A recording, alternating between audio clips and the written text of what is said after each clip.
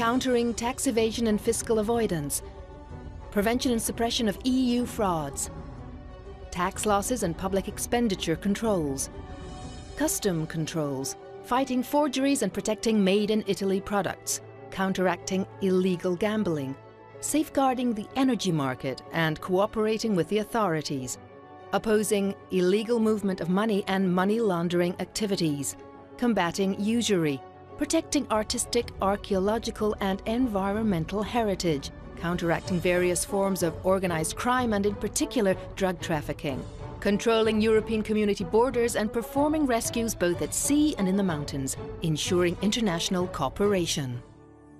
This is what the men and women of the Guardia di Finanza do. They call us the Fiamme Gialli, or Yellow Flames, because of the yellow badges on the collars of our uniforms.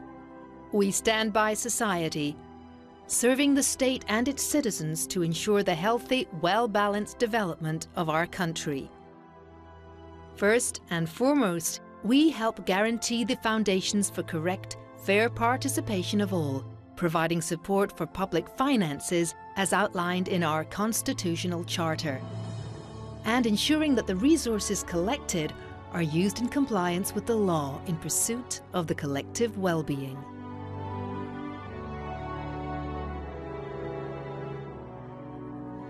We stand beside those who make the most of their own work, their own intellect and their own creative, productive abilities. We stand beside those who work for a better future in the conviction that educating people to lawfulness means teaching respect for others. We steadfastly work to update and enhance our ability to counteract the perils of economic and financial crimes. We are ready to intervene in any type of emergency, always at the service of the Italian Republic, its constitution, and its federal, regional, and local institutions.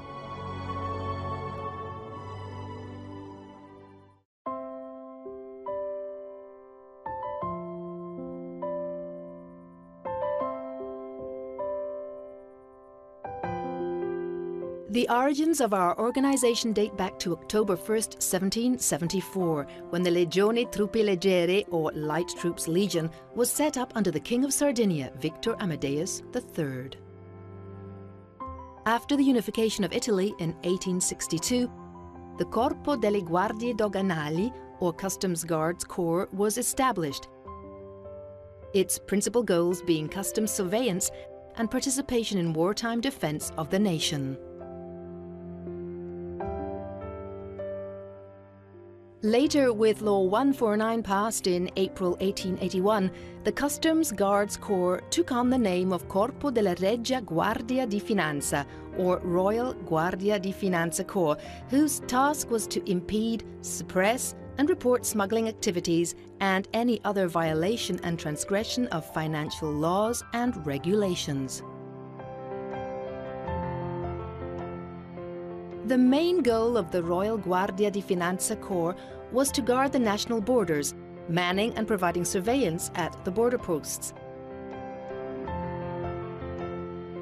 In fact, at Fiume in 1920, the poet Gabriele D'Annunzio dedicated to us the motto, Nec recisa recedit, no retreat even when broken.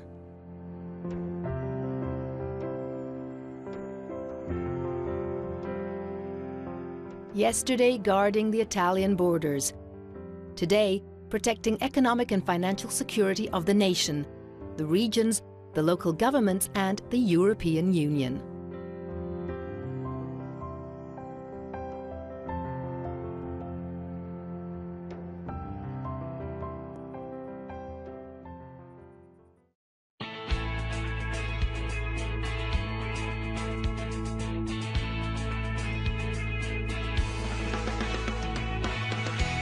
Its task is to assist the nation in fulfilling its commitment to ensure progress and the public order in harmony with current law.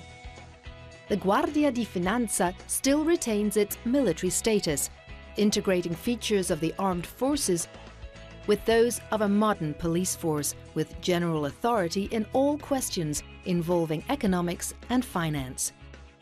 It reports directly to the Italian Minister of Economics and Finance.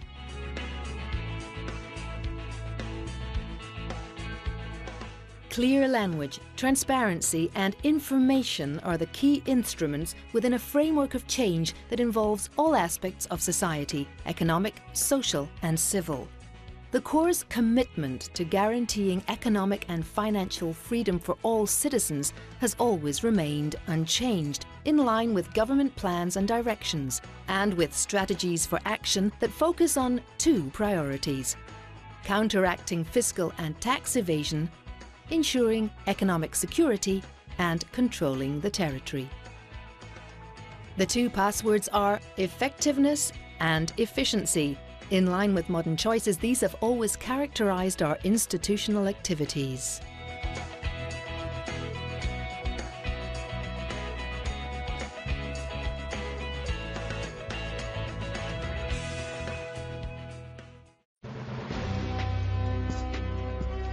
We work unceasingly in the skies, on sea, and on land. The Corps' Airborne Department patrols Italian territorial waters and land, providing ongoing surveillance, safeguarding the economic financial interests of the nation and the European Union.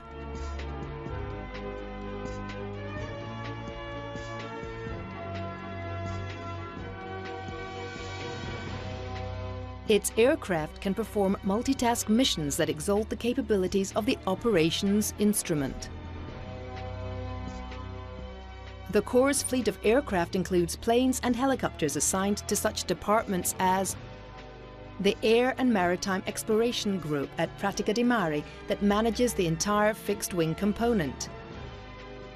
The Air and Naval Specialization and Standardization Center, also headquartered in Pratica di Mare, which provides national training of all Guardia di Finanza flight personnel.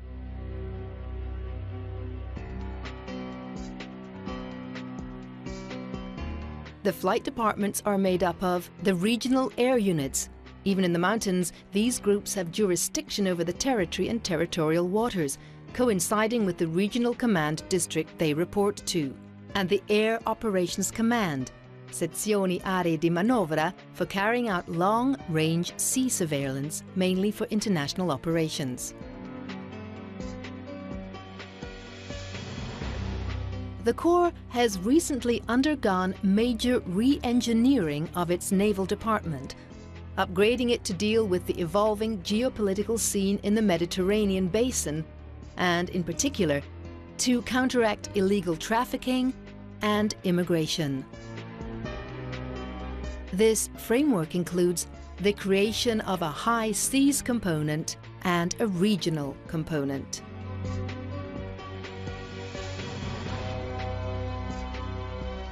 The high seas component is responsible for advanced defense. It protects the nation's economic financial interests and patrols the Mediterranean to ensure safe trade, combat trafficking in human beings and illegal products, through closer cooperation with other European Union coastal countries and with all those countries open to common development within a security framework. The regional component, under which the Air Naval Operational Departments, broken down into a naval station and an air section, operate, ensures security in the territorial waters and on land. Moreover, it performs the economic financial policing of activities directly related to the sea, the harbours and the business operations that the Fiamme Gialli is renowned for.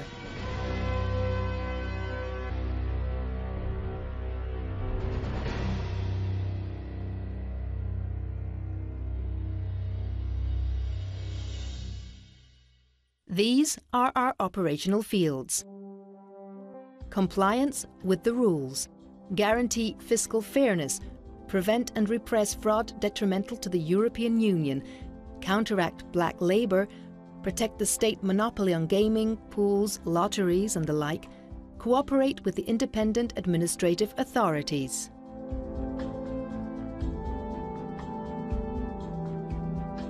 Market security. combat the high cost of living, counteract the market of counterfeit products and the circulation of hazardous products, ensure a high degree of protection by controlling the movement of goods, oversight for correct application of excise duties. Guaranteeing economic freedom, counteract the various forms of organised economic crime and illegal environmental and archaeological acts. Protecting the community, build a safer society, helping to maintain public order and security, dealing with illegal immigration, and performing rescues at sea and in the mountains.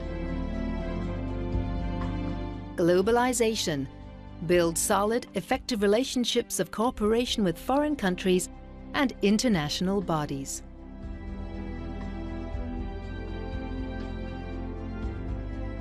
The commitment of the military personnel, the men and women of the Guardia di Finanza, continues in the internal organization programs to achieve a more efficient, simplified management through a project management program used to achieve a new plan for technological innovation.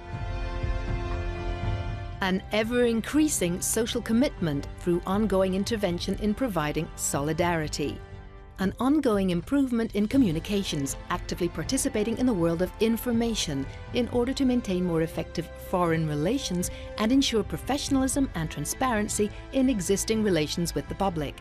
This work is adequately supported by a modern institutional website. Our image also asserts itself through excellence in sports, the Guardia di Finanza had 41 athletes at the 2008 Olympic Games in Beijing and won seven medals, including Giulia Quintavalli's gold medal in judo. Five core groups of athletes represent the Italian colors in athletics judo, karate, swimming, archery, and fencing. In rowing and canoeing, sailing, winter sports, as well as orienteering, free climbing, and ice skating.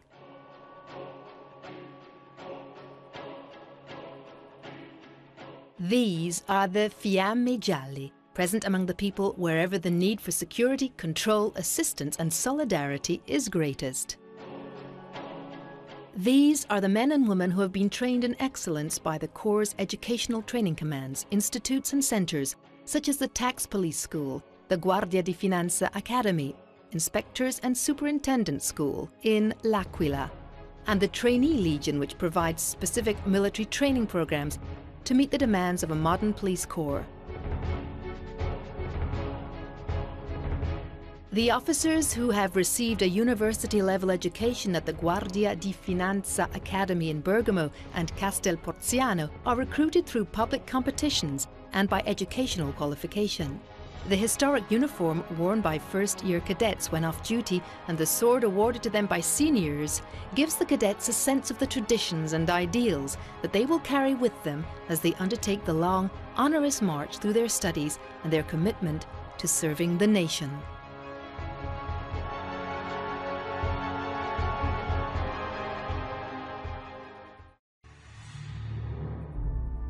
We have pledged allegiance to the Republic of Italy and its constitution. We believe in preparation and personal sacrifice, and we are committed, heart and soul, to facing the dangers and deviations of civil society with both strength and intelligence.